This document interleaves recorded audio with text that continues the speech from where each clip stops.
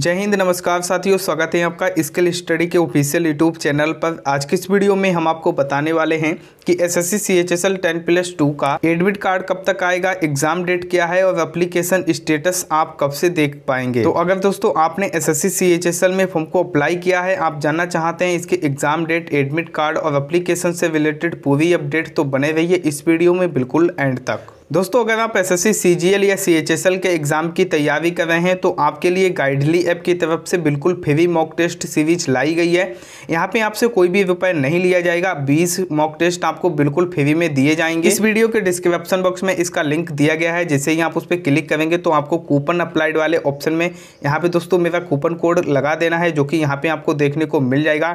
Double A S H I S H ये coupon code है। जब आप ये कूपन कोड अप्लाई कर देंगे तो यहाँ पे आपको टोटल टोटल डिस्काउंट मिल जाएगा। यहाँ पे आपको अब कोई भी रुपए पे नहीं करना है।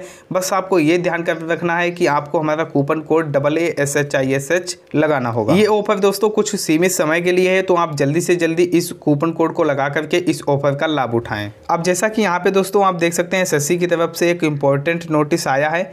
यहाँ पे दोस्तों अप्रैल, मई और जून की एग्ज़ाम डेट दी गई है। यहाँ पे सबसे पहले आपको सी जी की एग्ज़ाम डेट देखने को मिल जाएगी।